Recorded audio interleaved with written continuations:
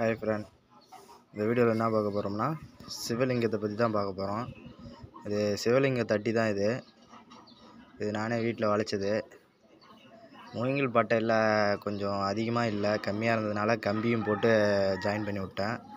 Next வீடியோவில் வந்து ஃபுல்லாக மூங்கில்லே நான் செஞ்சு போடுறேன் ஃப்ரெண்ட் இது சிவலிங்கம். வாங்க ஃப்ரெண்ட் பார்க்கலாம் சிவலிங்கம் எப்படி இருக்குன்னு. இது சிவலிங்கத்தோட அம்பு வேலை ஸ்டாப்பில் இருக்குது இந்த வீடியோ போட்டு முடித்த உடனே இன்றைக்கி ஃபினிஷிங் ஆகிடும் இது.